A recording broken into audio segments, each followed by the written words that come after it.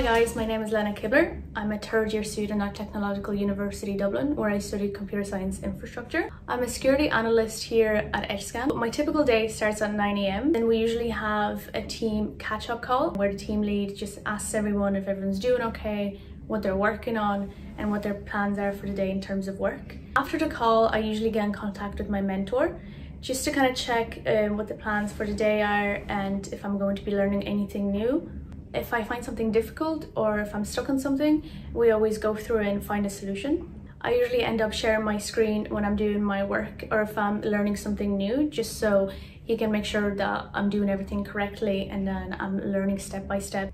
The work can be challenging, but it's never overbearing. I always have time for self-study and to do my own research and if there's anything that I have to get done with college, I always have time for that. If I have any questions throughout the day, I always have my mentor on hand, but there's also so many other people that always check up on me and make sure that I'm okay. And if I have any questions, I always have someone to ask. And that's my typical day as an intern at Edgescan.